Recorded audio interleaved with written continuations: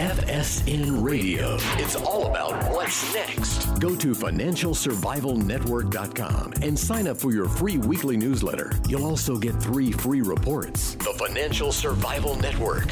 It's all about what's next. Welcome. You are listening to the Financial Survival Network. I'm Kerry Lutz. It's July 6th, 2017. Hey, first off, questions, comments, anything else? We always answer all. Just write us an email, kl at kerrylutz.com. So, is this the end of the tech fantasy, the tech bubble? Well, person you're about to hear from believes it very well could be. And that is good news for gold and perhaps silver as well. Talking about Ned Schmidt, who runs the Value View Gold Report and the Agri Food Value View. Ned, how are you? I'm fine, Kerry. How about you today? All good, all good. So, so what's going on here, Ned? Uh, you, uh, you're like uh, bullish on all the wrong things. You should be bullish on cryptocurrencies and Bitcoin and, uh, no. and Apple, right? No, no, no cryptocurrencies. Yeah, cryptos. There, that's where the money's at, right? You know, I'm sorry. that's where the money's at in cryptocurrencies. That's where the money's being lost. You know, the the whole argument for these things, Kerry, is fallacious. What the argument is that, for example, bitcoins. There'll only be so much, so many bitcoins in this world, and the creation of them is limited. Well, perhaps, but what is not limited is the creation of cryptocurrencies. Yeah. Anybody can create one. This is from a June 4th article of CNBC. Now, we know that their opinions are idiocy, but I'm assuming that they report facts. Maybe. I think this is spelled sound, sounds like storage. It's S T O R J, Yeah. which is a cryptocurrency. Has 34 million in coins outstanding, making it the 53rd most valuable cryptocurrency. There's 53 of these things at least out there. I don't think these people understand that. Anybody can create a cryptocurrency. Now, if you pull up the one year chart on Bitcoins, you will see what is called a parabolic curve. Yes, I know. Parabolic curve is when the price accelerates. Correct. When you throw a ball up in the air, it starts to decelerate before it falls. In a Mhm. parabolic curve, the ball accelerates. So we know that's unnatural. You got to look at that curve. We know two things about the parabolic curve. One is they always fail in a painful manner. You're talking about a 50% correction from the high, but we never know when. We don't know when it's going to happen. So if you look at that picture of Bitcoins, you're looking at a failure pass pattern of massive proportions. Well, so everybody now is running over. It's the one that begins with an E that I can't pronounce, Gary. Can you? Ethereum. Ether. Ethereum. Yes. Okay. Ethereum. Correct. Yeah. Take pull that one year curve up of that and, and match it up against the one year curve for the Bitcoin. hmm And it's it's just it's information. You just don't know when it's going to quit. Correct. And I I think these people are going to lose so much money. I don't know what the how they recover, but I think that has drawn money from the silver market. hmm The silver market is the the, the regular guys speculative play. Right. And I think that is what's pushed it down to $16 for the third time. hmm And the other thing that's interesting about silver is normally it's connected very closely to gold. I, I, I run an R squared on silver on gold. And the R squared explains how much the wiggles in silver are explained by the wiggles in gold. It's, it's no great measure, but mm normally that runs very high, 80, 90%. hmm And it's down now about 10%, which it only does during periods of depressed silver. Last time it did this, silver was $14. So I think it's saying that silver is just disconnected because of that. And as such, it's, it's got great opportunity. hmm On gold, and we start with the reality that the price of gold to the S&P 500 is, is, is at a ridiculous low. I mean, we've rarely in history seen gold this cheap to the stock market. It's come down, It touched just below the 200 day moving average. This is the third time. Each time before, it has rallied to a new intra period high. You want to figure out some name to call it. Yeah. But I think what's going to drive it is gold.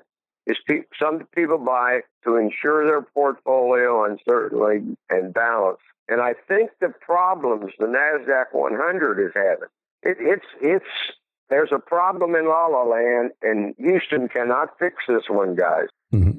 And I want to go back. First of all, we've had four interest rate hikes. The Nasdaq 100 should not be up. Every gross sector gets butchered with rate increases happen. It's happened every time, or we'd still be t- trading Tampax and Polaroid. Yeah.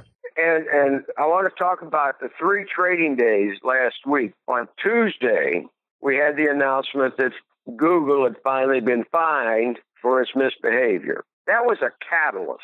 In of itself, it doesn't mean anything, but it drove the Nasdaq down. They rallied it on Wednesday with the bank stock, bank stress reports. On Thursday, the problem showed up again. These funds are up to their eyeballs in these internet technology fantasies. what they found out on Thursday, there are no buyers. They tried to sell some on Thursday, and literally there were no buyers left. Everybody that owns this junk owns it. Mm-hmm. And so it's at it's at a little Nasdaq 100 is at 5600, and there's a little congestion there, but it's meaningless. The next support's not till 5400. Mm. So I think as the Nasdaq crumbles, and it will, people are going to move, spread their money out, and one of those beneficiaries should be precious metal, gold and silver. Mm-hmm. It's going to be interesting So to I- see. I- yeah. And it's summer doldrums right now. That's part of the reason they're down. People are doing other things. But I think this, if you have not yet added your gold and silver portfolios, you needed to be doing it now, not waiting for it to be 1300 again. hmm Yeah, I think you're right. I think you're correct. So, uh, but the agricultural scene there, I mean, that stuff's hitting new highs. It's it's amazing what's going on there, which you you said for a long time was going to happen. Well, We've got a full blown bull market in agricultural commodities. Uh, my agri food price index, which has now it has 19 since we added ethanol, Mhm. an all time high. It's up 40% from the October lows. The average commodity is up 40% from its 52 week lows. And some of them are just outrageous. Uh, eggs are up 140%. Uh, pork, pork is a screamer. Pork is the hottest meat in the world, up 100% from its low. Wow. and even even sorghum, which nobody has even talked about in over a year. I mean, it only trades on odd number Mondays in Australia. Hit a 52 week high. Hey, what is And- sorghum exactly? Tell us what do you do with sorghum? Sorghum is is like uh, corn. It's same uses. Mhm. Ca- cattle feed. They use it for cattle feed Oh. and hog feed. hmm and it's grown places. The biggest producers of sorghum are like Nigeria and those countries.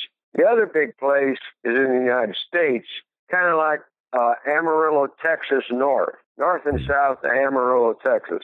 There's nothing else to do there, Yeah. so I guess that's. That's but there's really no reason to go to Amarillo, Texas. Yeah, well, we know that. and and consumers are are changing their habits. Uh, U.S. consumers, the two hottest foods right now are ribeye steaks and butter. People are tired of low-fat, tasteless food, and they want fat and taste. Amen to that. And and one of the things that's going to kick it in is this in June. Trump uh, negotiated a new deal on U.S. beef. We haven't exported beef to China in 14 years. Yeah. And last June, we flew the they flew it the first deliveries to China. This is going to be a big market for U.S. producers because one of the requirements is that the food have verification, beef have verification of where it was born and where it lived. And that is going to be on the packages in China. The Chinese consumers want to know where their beef came from. And, Mhm. and so it's going to be slow, Mhm. but I think the U.S. beef producers are going to be do good. Now, in any bull market, you have new leadership. Like this time in agriculture, we had animal proteins, beef, pork, and chicken. That will rotate into the grains. Mm-hmm. And we're starting to see the rotation in the grains. And I wouldn't be surprised that corn turns out to be a stellar performer over the next six months. Right. The problem we got as investors is this stock market. One of the brokerage firms said that 90% of right now is computer driven. That has driven stocks like Deere and AGCO to probably levels that are unsustainable. Mm. There's three, though, that investors can look at. Agrium, AGU, which is getting ready to merge with POT, POT, and I liked the company after the merger because I liked Agrium. Agrium has the biggest farm retail store operation.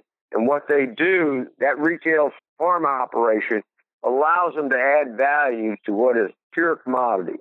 So they should do better. The other two are BG and ADM. And now they've been, they've been selling those off. And this summer sometime is going to be the time to buy those two stocks because they are the only two public companies involved in global grain movement. There are four companies, ADM, BG, Cargill, and Louis Dreyfus. But Louis Dreyfus and Cargill are private companies. Correct. So there's only two of them out there. there's another one coming sometime this year when we get the DuPont Dow merger. They will merge and they're going to spin off their agricultural sector company. And now we've lost uh, Syngenta and we're getting ready to lose Monsanto. So that stock is going to be in demand because we're going to lose two and only gain one. We're going to have one less public company in the seed and crop protection business. So that's one investor should watch for too. Mm-hmm. Interesting. Had to take a breath. Had to take a breath. hey, that's okay. There was a there was a, a lot a lot to digest there for sure. I don't think you wanted me to faint on your show. no, no, we haven't had that yet. You would have been the first. But uh, but you know, with what's happening in the markets, it's amazing people aren't getting nosebleeds. You know, the prices are going so high. So with ag, is this partly is this a dollar induced uh, escalation in prices, or is it uh, supply demand? It, it's both. What what happened mm-hmm. a year ago this time is we had weak crops in Brazil and Argentina because of the weather, and so that allowed the U.S. the U.S. to sell out a lot of inventory. Last year, our grain exports were just smoking hot.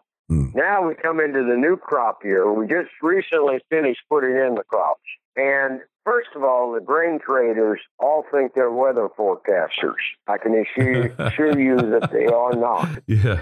We had we had three great years of weather. The probability of good weather this year was about six percent.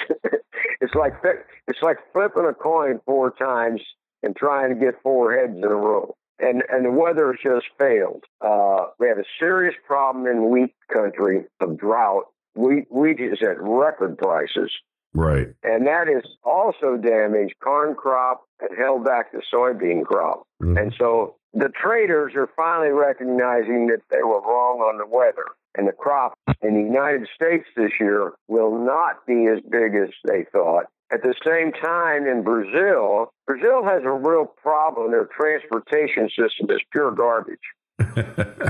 yeah. And their transportation costs are over a dollar a bushel to get it to the port. That means they're only getting about two dollars a bushel at the farm gate. That's below their costs.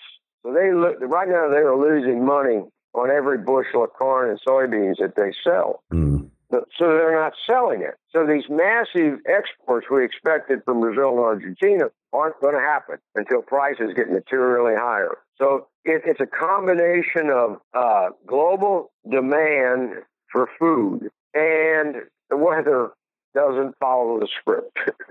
you know, we can. I don't care how many iPhones we have. we had no influence on the weather at all. You sure about that? And I don't. What, what about yeah. uh, what about the uh, chemtrails and all that stuff? Forget it. and from and, you know, I, my last letter, I did a write up. I wrote about trading in a stock by the computers because I observed one. Mm. And I'm telling you, if AI is that stupid, the way it trades stocks, we're not going to be safe on the roads, Gary. And we're not we're not safe now with, with yeah, well, some people on the road. we're in Florida. Forget it. We're like uh, yeah, we're you, under constant You know that, threat. especially where you live. Yeah, we're under constant threat in Florida from uh, errant drivers, but uh, at least software for helping cars navigate the road, navigate the highway is a little more concrete than trying to make money in the stock market. Well, maybe. A little bit. Uh, A little more you know, and- definable. and- and, uh, one thing I wanted to mention too, Karen, is you know gold and silver seem to be totally ignoring what's going on in Korea. Mm, And I'm not saying they should gap up 150 points on Korea, but they're saying nothing is there. yeah, very You know, we have at least 30 warships cruising in circles in the Sea of Japan. I mean, they're having a parking problem there right now. it only takes one little accident to change the whole thing. Mhm. And accidents do happen. Yeah, hey, there's a remember the uh, the Korean uh, missile crisis where uh, one guy, uh, one plane almost caused World War Three, right?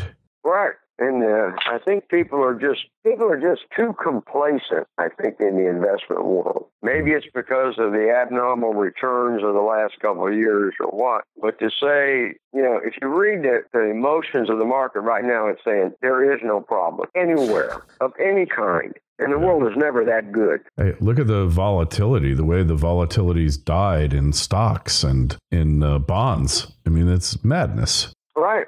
And uh, the other thing that's happening, probably, I don't know if any of your visitors have talked about, Karen, is the anybody using emerging market ETFs, there's a good chance Chinese stocks are now going to be in those portfolios Uh huh. because uh, MSCI, the big in- index producer, Mm. has added them to their emerging market index. Hmm Well, well, that They're could going- be good or bad. They're trying. They're going to do the same thing with the bond indices. hmm And one of the ri- one of the holdup, they're going to put Chinese bonds in the bond indices. Was there was no electronic trading in, in Chinese government bonds, hmm and I think it was a week ago. It'll be two weeks, I think. No, a week ago Monday. Uh, They started electronic trading of government bonds in Hong Kong, and I understand from what I've read, the volumes are just tremendous. hmm So that that's going to help the yuan versus the dollar, which Mhm. is going to help gold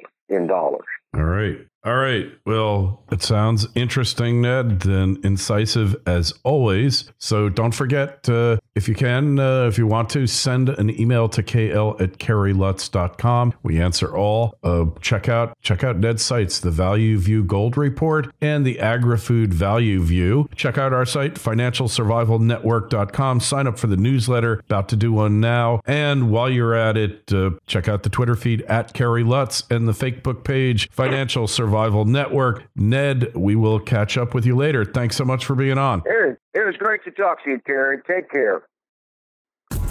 FSN Radio. It's all about what's next. Go to financialsurvivalnetwork.com and sign up for your free weekly newsletter. You'll also get three free reports. The Financial Survival Network. It's all about what's next.